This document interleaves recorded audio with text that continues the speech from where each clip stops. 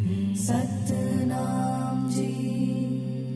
वाहे गुरु जी सत्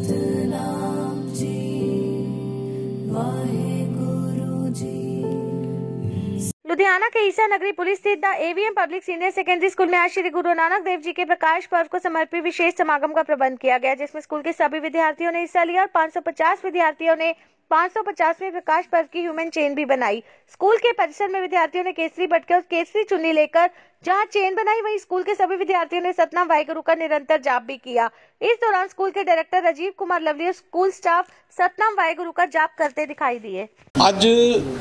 ਜਿੱਥੇ ਦੁਨੀਆ ਭਰ ਦੇ ਵਿੱਚ ਸ੍ਰੀ ਗੁਰੂ ਨਾਨਕ ਦੇਵ ਜੀ ਮਹਾਰਾਜ ਦਾ 550ਵਾਂ ਪ੍ਰਕਾਸ਼ ਪੁਰਬ ਬਹੁਤ ਸ਼ਰਧਾ ਤੇ ਉਤਸ਼ਾਹ ਨਾਲ ਮਨਾਇਆ ਜਾ ਰਿਹਾ। ਉਸੇ ਲੜੀ ਦੇ ਤਹਿਤ ਅੱਜ ਲੁਧਿਆਣਾ ਦੇ doctor AVM public senior secondary school ਦੇ ਬੱਚਿਆਂ ਨੇ ਇੱਕ ਚਾਈਲਡ ਚੇਨ ਬਣਾ ਕੇ ਜਿੱਥੇ ਗੁਰੂ ਸਾਹਿਬ ਨੂੰ ਆਪਣੇ ਸ਼ਰਧਾ ਦੇ ਫੁੱਲ ਭੇਟ ਕੀਤੇ ਨੇ ਕਿਉਂਕਿ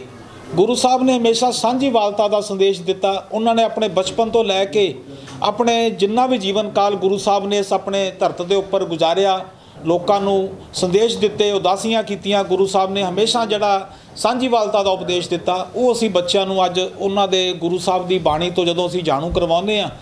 ਤੇ ਮੈਂ ਸਮਝਦਾ ਵੀ ਇਹ ਬੱਚਿਆਂ ਨੂੰ ਸਾਡੇ ਸਕੂਲਾਂ ਵਾਲਿਆਂ ਦੀ ਜ਼ਿੰਮੇਵਾਰੀ ਬਣਦੀ ਹੈ ਵੀ ਜਿਹੜਾ ਸਾਡੇ ਧਾਰਮਿਕ, ਸਾਡੇ ਵਿਸ਼ੇ ਨੇ, ਉਹ ਕਿਤੇ ਨਾ ਕਿਤੇ ਅਸੀਂ ਚਾਹੇ ਇੱਕ ਹਫ਼ਤੇ ਦਾ ਇੱਕ ਅਸੀਂ ਪੀਰੀਅਡ ਉਹਨਾਂ ਨੂੰ ਬੱਚਿਆਂ ਨੂੰ ਦਈਏ, ਆਪਣੇ ਵਿਰਸੇ ਬਾਰੇ, ਆਪਣੇ ਧਰਮ ਦੇ ਬਾਰੇ ਬੱਚਿਆਂ ਨੂੰ ਜਾਣੂ ਕਰਵਾਈਏ, ਕਿਉਂਕਿ ਜਿਹੜਾ ਭਾਰਤ ਦੇਸ਼ ਹੈ, ਉਹ ਇੱਕ ਸਾਡਾ ਜਿਹਨੂੰ ਕਹਿ ਦਈਏ ਮਲਟੀ ਕਲਚਰ ਇੱਕ ਮੁਲਕ ਹੈਗਾ ਇਹ।